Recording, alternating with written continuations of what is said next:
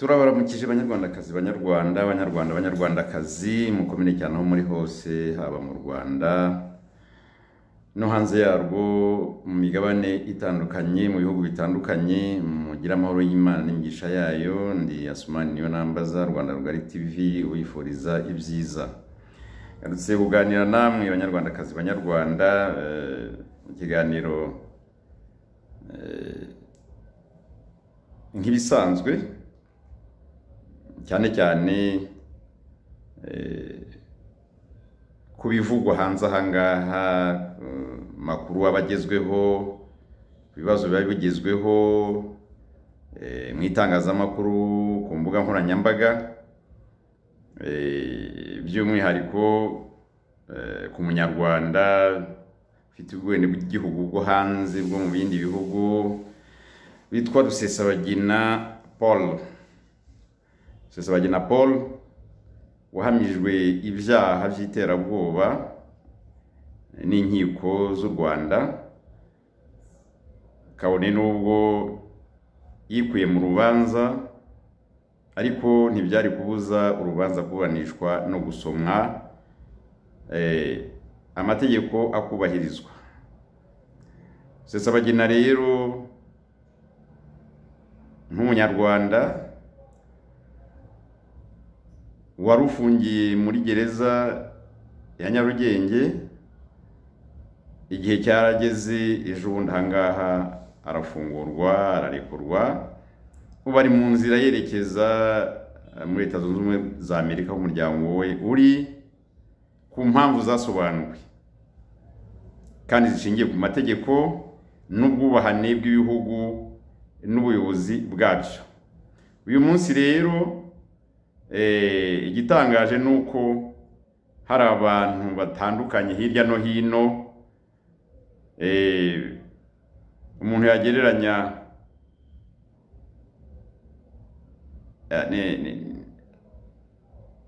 umuntu yagereranya n'iki? Umuntu yagereranya n'ibirura.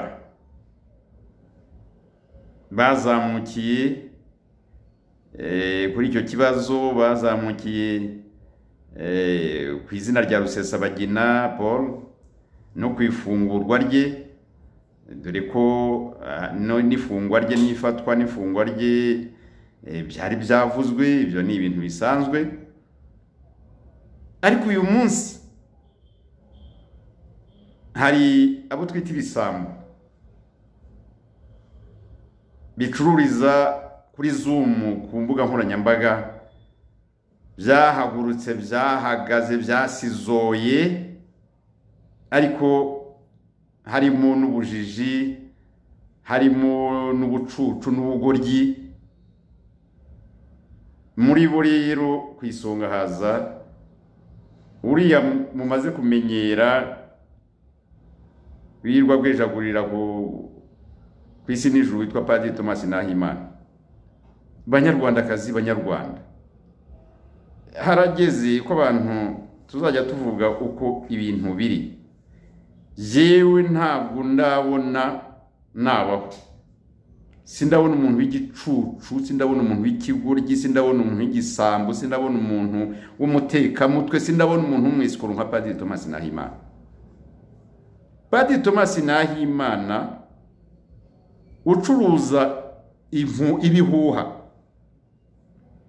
Padiri thomas nahimana gucuruza ibihuha utunzwe no gucuruza ibihuha kuri zumu utunzwe n'ubudodo utunzwe n'ibinyoma utunzwe no kujya hariya akamara isaha isaha n'igice amasaha abiri. Abeshya isi yose uretse ko umunyarwanda yabivuze neza ngo intebe y'ikinyoma uyicaraho rimwe ntuyicaraho kabiri.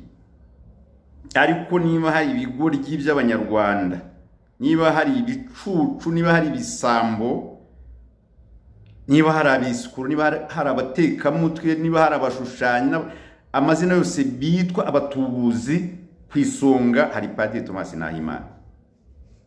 Byaragaragaye n'ubu ngubu aracyabigaragaza. Padiri thomas nahimana wicara ruhavure muri geto ye agatungwa no kuvuga no, gutukana no gusebanya no gutera ubwoba no gukangata no kwentimida abantu no eh, bikarenga no, kurengera indisipline umuntu utagira ikinyabupfura kandi byarangira ngo ni umunyepolitiki. Ingirwa perezida ya guverinoma ikorera mu buhungiro. Ingirwa perezida irangwa n'amatiku itunzwe no ku- kuvuga ubusa no kubwejagura no gusakuza no kwiyemera no kwirata no gukanga abantu no gusoma amatangazo. Amatangazo aba yakoze yapanze gahunda yapanze umushinga w'ubwesikoro akajya imbere ya kamera ku isi n'ijuru ati hari amatangazo ari hano. Abiyandikisha mu ishuri ngirwashuri ishuri rya baringa kwiyandikisha ni igihumbi. Mu minsi ishize mwaramwumvise ngo yashyizeho ikigega cy'amahoro ibyo byose n'amafaranga ashaka n'ubwesikoro akagira atya kuri eh, kuri- ati dore eh, dore bya- bya bikwangari bye ngo ni passport ati dore ndacyazifite kugira ngo umwoherereze amadolari cyangwa amayero hafi ijana nguwo nguwo wiyita in- ingirwa perezida. Umwesikoro mujura tekamutwe mushushanyi umutubuzi injiji. Ubundi eh, twari tumenyereye twari tuzi yuko abantu bize teolojiya bize filozofiya bize busikoloji noneho bitwa ko bihaye imana. Ari abantu bagendera kuri gahunda bagendera kuri disipurine ya gisaseridoti babe abapadiri babe abasenyeri abepiskopi mu nzego zitandukanye z'imirimo ya kiliziya gatolika. Uyu rero padiri tomasi nahimana twarababwiye ngo turamuzi hari ibyo tumuziho hari n'ibyo tutari tumuziho n'ubu tukimenya tugikurikirana tukabimenya tuzamubabwiraho byinshi. Padiri tomasi nahimana tuzamubabwiraho byinshi duhereye muri seminari aho yigishaga. I cyangugu ubwo ntituragera kuri dosiye y'uburyo yambutse buvira ejo bundi mbere y'uko agenda ibyo yakoraga tuzabibabwira uko yahoraga muri mu- mu- muri muvuma dova eviye ajya buvira agaruka icyangugu asubira buvira agaruka icyangugu biza kugera ubwo inzego zimuvumbura kuko yari mu migambi mibi yo kugambanira igihugu. Twamenye yuko pasiporo yabaga agendana y'u rwanda inzego byabaye ngombwa ko ziyimwambura. Twamenye ko padiri tomasi nahimana ajya gutorongera iyo ngiyo ajya guturumbuka ngo agiye mu bufaransa yagendeye kuri pasiporo yo muri congo. Niba bamubeshyera azajye hariya binyomoze ako ni agaciyemo gusa. Ariko detayi zibye zose tuzajya tugenda tubibagezaho buhoro buhoro buhoro. Ariko nongere mbisubiremo. Ya- ya- ajya hariya ngo nzabaseka nzaseka azaseka banyarwandakazi banyarwanda. Mukurikira rwanda rugari tv reka nongere mbisubiremo. Ntabwo ndabona umuntu w'igicucu w'ikigoryi w'igisambo w'umujura w'umwesikoro w'umutekamutwe w'umutubuzi w'umushushanyi nka padiri thomas nahimana. Ubu ngubu uyu munsi kuva inkuru y'irekurwa rya rusesabagina paul yamenyekana nta kintu barimo gucuruza. Arajya hariya agakangata akigaragura akabwijagura akavugagura n'agasuzuguro kenshi. N'agasuzuguro kenshi. Ikinyabupfura gike atigeze ariko niko yabaye niko yabyirutse niko yakuze. Dore arinze angana kuriya ariko akiri. Ntawe utanga icyo adafite. Umuntu utiyubashye ntabwo yubaha abandi. Gutukana gusa gusa kandi nta n'icyo bimubwiye wa mugani kuko we yarivugiye ati wampa miliyoni y'amadolari yarayibonye tageti cyangwa objectif cyangwa intego ya padiri thomas nahimana ni amafaranga.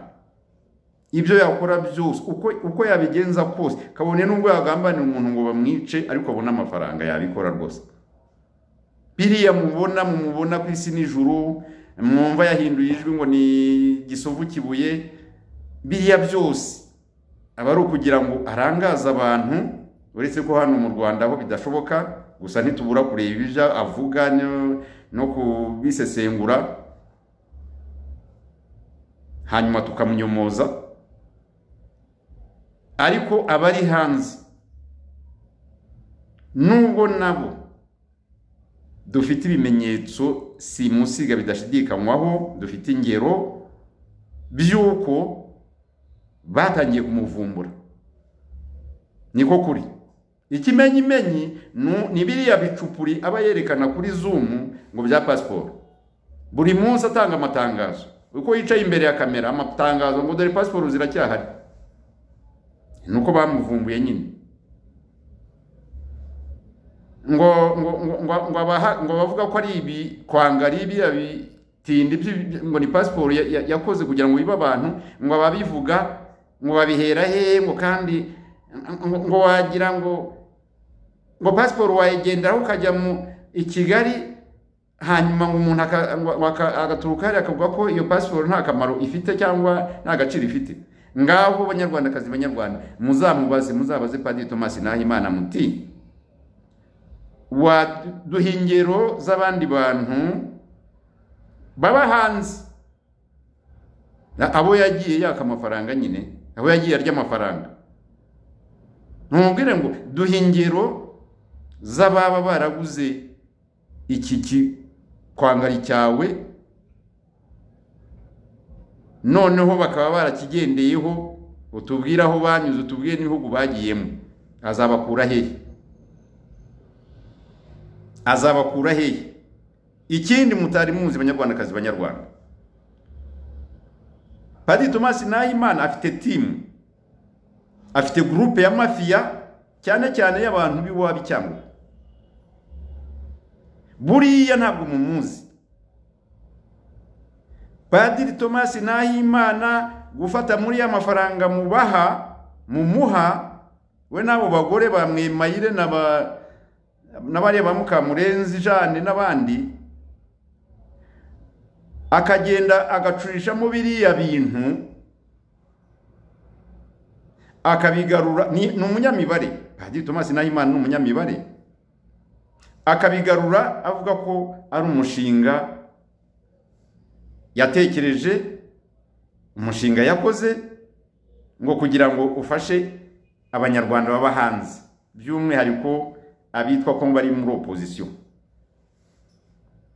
birashoboka rero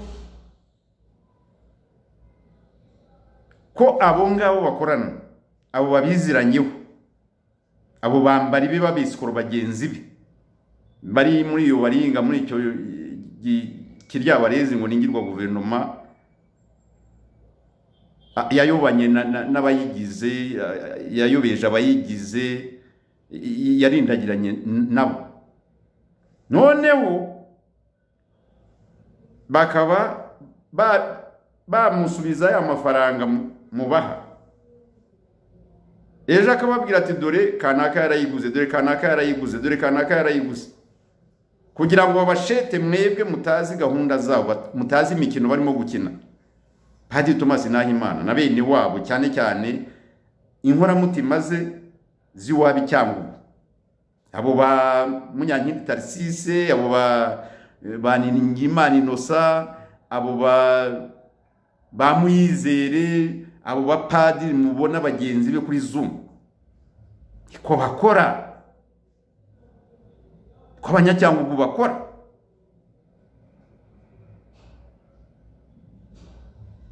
None uyu munsi arajya hariya yabwejaguye sinzi rusesabagina yabaye rusesabagina. Murebe ubucucu bwa padiri tomasi nahimana. We ibye ni imirwano ni ukurwana. Kandi nabwo arwanisha umunwa gusa. Wagira ngo afite burende nk'ijana. Ibye ni ubugizi bwa nabi. Ibyo ni uguteranya abantu. Ibyo ni ugukangurira abantu kumarana. Kuri we ibiganiro ntacyo bimubwiye ntabwo azi icyo bita negosiyasiyo ko itandukanye na presiyo igitutu uruhato. Ntabwo azi ko bitandukanye na dialogue n'ibiganiro. Nayimana ameze nka ya ndondogozi y'ikirondwe isigara ku ruhu inka yarariwe kera. Yahasetse reka sinakubwira nyine ni ho mvugira ko ari igicucu ari ikigoryi rwose. Ntajya avuga ngo abantu ngo ni utugoryi. Padiri tomasi nta muntu w'ikigoryi muri iyi si nka padiri tomasi nahimana by'umwihariko nta munyarwanda w'igicucu w'ikigoryi w'igisambo w'umwesikoro w'umutekamutwe w'umutubuzi w'umushushanyi nka padiri tomasi nahimana umuntu yarafashwe amategeko akora akazi kayo nk'umwenegihugu wa amerika tubivuge gutyo. Ufite ubwenegihugu bwa amerika. Amerika ifite uko ikora. Leta zunze ubumwe za amerika ntabwo zitegeka u rwanda. Ibyo bintu byumvikane neza.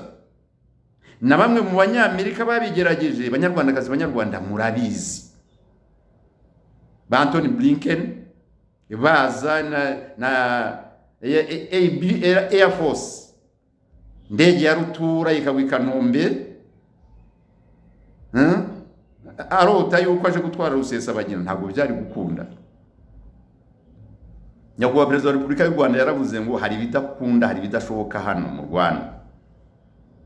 Abanyamerika n'abanyaburayi nabo tubongeremo kuko nabo bagaragaje aho bahagaze uretse ububirigi kandi ububirigi ntibyari gukunda. Ibi ngibi kubera ubucucu bwa padiri tomasi nahimana ntashobora kubitekereza. Nta nubwo ashobora mu byo aba abwejaguramo ntashobora kuvuga ati ububirigi ko ko nta jwi ryabwo twumvise.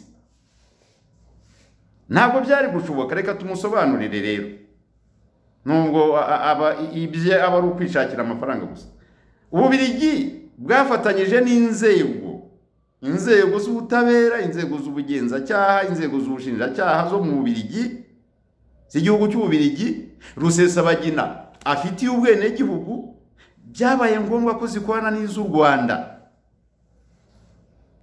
Ububirigi bwagize uruhare kugira ngo urubanza rwa paul rusesabagina rusobanuke cyane cyane mu bimenyetso bigaragaza uruhare rwe cyangwa ibyaha bimuhama muri biriya bitero by'iterabwoba ntabwo rero ububirigi bwagombaga bwari kuvuga iki se? Alors izo puresha muvuga izo presiyo igitutu muvuga. Padiri tomasi nahimana abaye atari umuntu w'ikigoryi w'igicucu yakabaye azi ko nyuma y'ukwezi kwa cumi k'umwaka ushize wa bibiri na makumyabiri na kabiri. Bitongeye kuba. Kubera iki?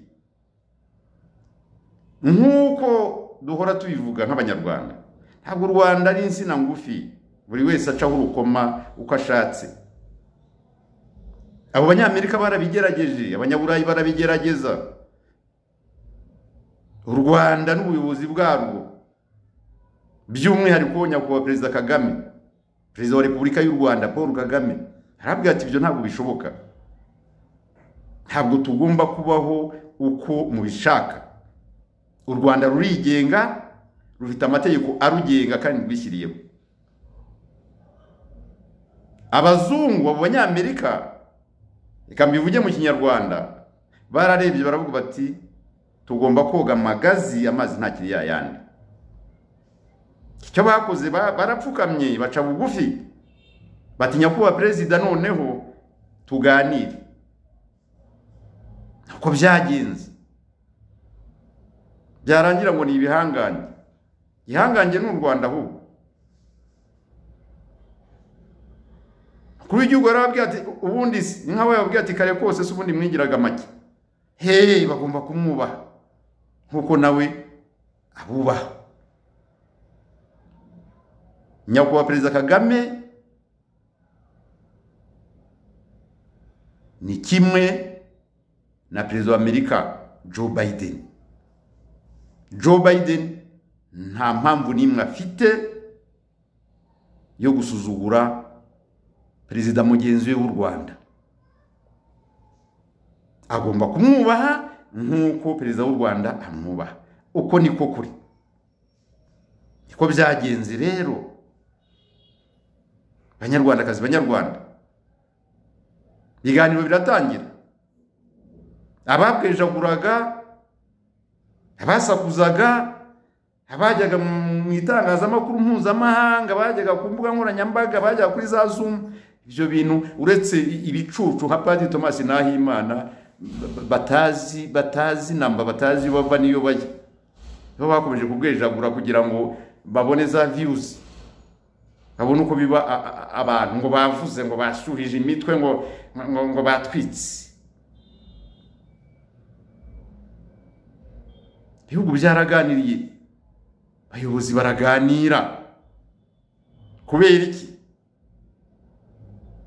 Nta na rimwe ku isi byigeze bibaho ko ikibazo gikemurwa n'imbaraga. Ikibazo cyose cyane cyane ikibazo gikomeye. Igihe bibaye ngombwa gikemurwa n'ibiganiro kujya ku meza y'ibiganiro.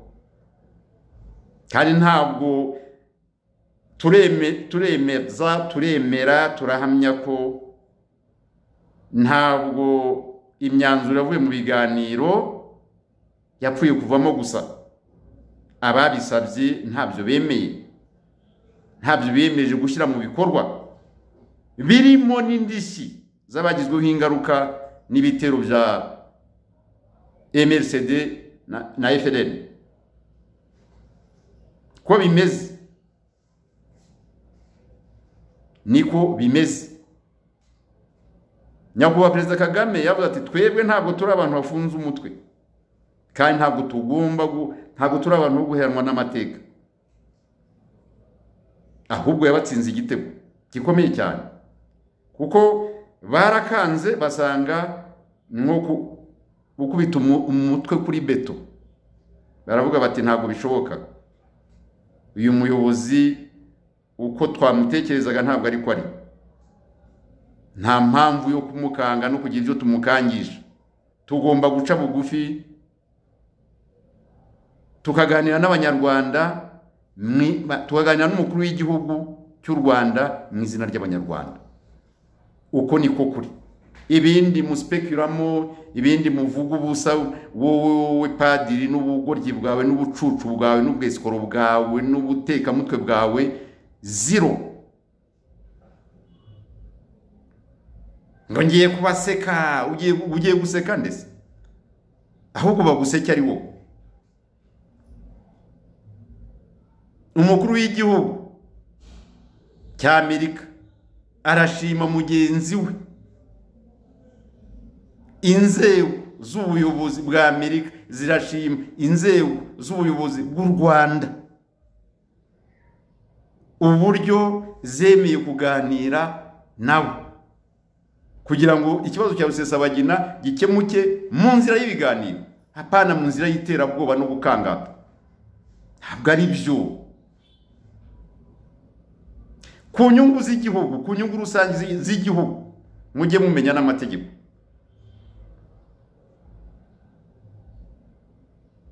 Padiri tomasi nahimana n'ubucucu bwe n'ubugoryi bwe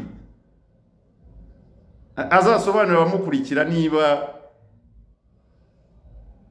iriya baruwa atari paul rusesabagina wayanditse. Hanyuma nibigaragara ko ari inyandiko mpimbano azamufashe kubiregera tuzarebe. Ubugoryi padiri padiri uri igicucu uri ikigoryi uri igisambo uri umwisikuro uri umutekamutwe uri umutubuzi uri umushushanyi. Nicyo kigutunze. Ibi byose bigaragarira mu bigambo uvuga. Dore imyaka ibaye icumi hafi n'itatu. Ubeshya ubeshya abantu be ariko hari n'ikindi nakubwira ari nabwo butumwa nakugezaho umenye ko gashyiga yari yashyiguwe paul rusesabagina. Yakava muri amerika akisanga i kigali. Ari naho mpera mvuga ngo burya ntihakagire abantu igihangange ninde ahubwo u rwanda ni igihugu cy'igihangange. Rwanda rukura umuntu warwo waruhemukiye warugiriye nabi muri leta zunze ubumwe za amerika rukamugeza mu murwa mukuru warwo. Abakunzi ba rwanda rugari tv n'abakurikira rwanda rugari tv murumva u rwanda atari igihugu cy'igihangange none se bavuga ngo uri igihangange? Bagutwara ibyawe. Ntabwo icyo gihe witwa indangare. Ntabwo ukiri igihangange ko bimeze?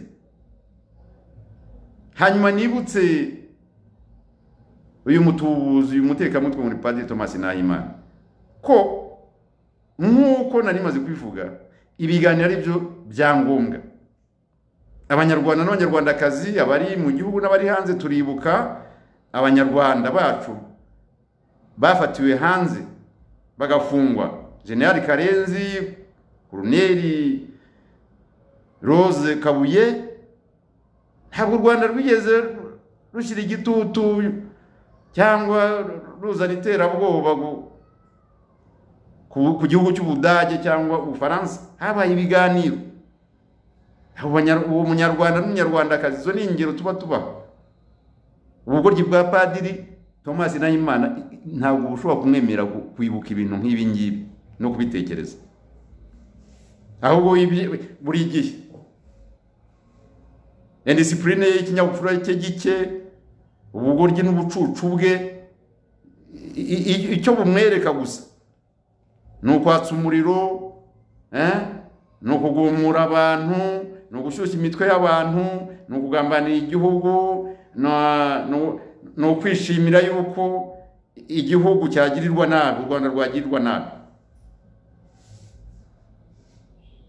Kuri we ibiganiro ku kibazo runaka bituma abantu babana neza cyangwa abantu bakumira icyazana igitotsi mu mibanire yabo ibyo ntabwo bimureba.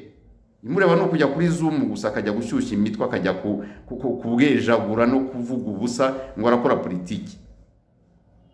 Hanyuma ugasanga abantu b'injiji bataramusobanukirwa batamuzi. N'igihe twahereye ugasanga bamuri inyuma. Baramukomera amashyi. Nk'uko bayakomeraga wa wundi se wabo twagira mungu muri za mirongo icyenda na rimwe. Ngwaho ngwaho nta kintu avuze avuze ibintu biri aho ngaho by'ubucucu byo- kugumura abantu no- guteranya abantu gushyushya imitwe kugira ngo abantu bamarane.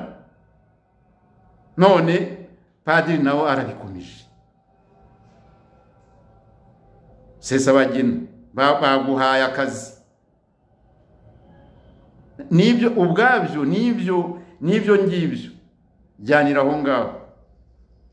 Rwanda rurakora ibikorwa bituma amahoro hagati y'abantu aboneka bituma rubana neza cyangwa rurushaho kunoza umubano n'ibindi bihugu hanyuma wowe ukabiprofitiramo ugakora rokonterere ukajya kuvuga ubusa.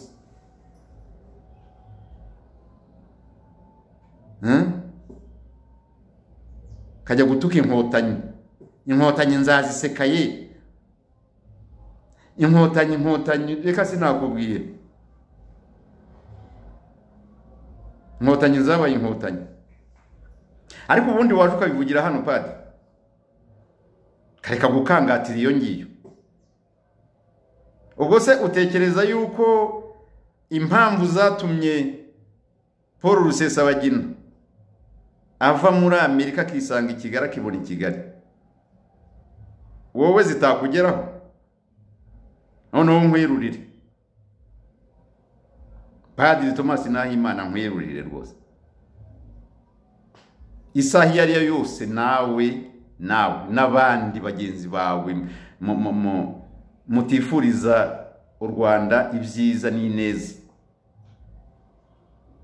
Muhora mwumva yuko ibyarugirira nabi ibyagirira nabi abanyarwanda ari byo byabashimisha mugatungwa no, kubitiza umurindi.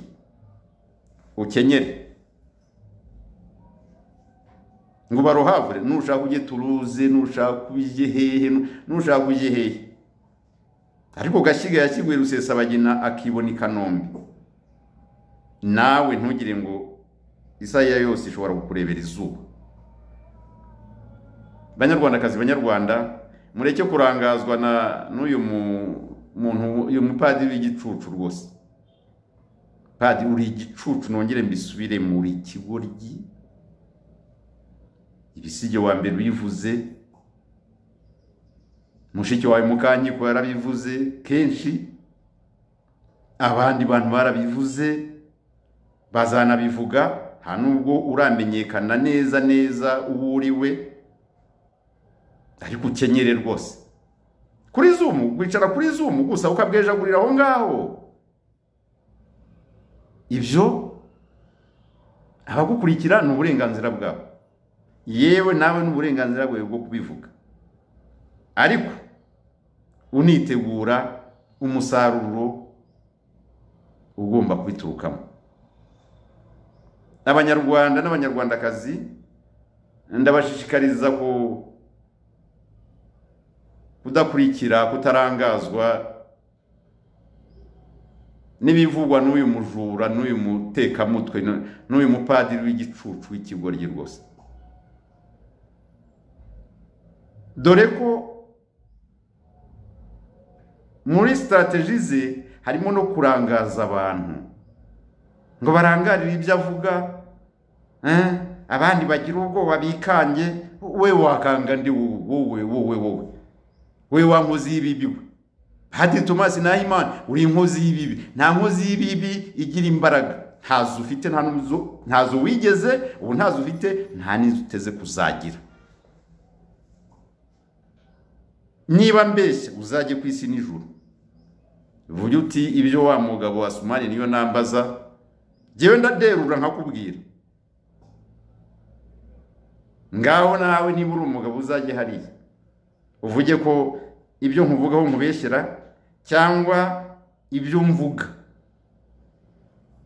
Ubeshya. Ari ukuri. Ngaho genda. Nimugoroba cyangwa ejo. Uzajye kuri kuri zoom. Uzajya imbere ya kamera. Wivuge. Komeza n'ubundi twarabivuze ngo iby'abapfu birya abapfumu. Ariko narakubwiye narababwiye wowe n'abambari bawe n'abandi. Nta nduru irwana n'ingoma. Nta nduru irwana n'ingoma. Umugezi w'isuri urisiba padiri tomasi nahimana.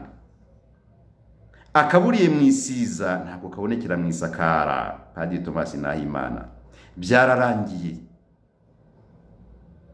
Jya numva muhora mubwirijagura muvuga ubusa mukangisha amaturufu ngo y'ubuhutu. Ubwo buhutu bwanyu rero. Padiri tomasi nahimana ubwo buhutu bwawe buri mu maturufu wirirwa urisha utekesha imitwe. Uretse uzaba ureba ni kera se. Ureke ibyo ubeshya abantu ngo uyu mwaka ngo buri mwaka uvuga ko ari impinduka kugira ngo ushiture abantu baguha amafaranga. Impinduka kagoma kagoma ndashaka kagoma abantu kagoma igihumbi. Kandi abitwa ngo bariyandikishije kubera ko batakuzi bakaguha amafaranga.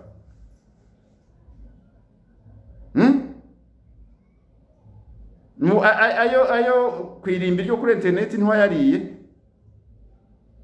ntari mu byo wapfuye na jean paul ntagara na flora karenze umugore we. Nubwo nabo nzabagarukaho muri ino minsi. Nabonye reka mbyihorere nzabigenera ikiganiro cyacu. Murajya hariya mukabwijagura mukavuga ubusa mugashyushya imitwe abantu mukabarangaza mukarara amajoro. Ariko ni byo nta kindi kuko nta kandi kazi mugira ni uko bikarangira mubonye umusaruro. Sawa. Ariko padiri ubwo bugoryi bwawe n'ubucucu bwawe uzabugumane iyo ngiyo. Uzagira amahirwe ubugumane iyo ngiyo. Kandi no kubugumanayo ntabwo mpamya ko bizagukundira ntabwo bizaguhira.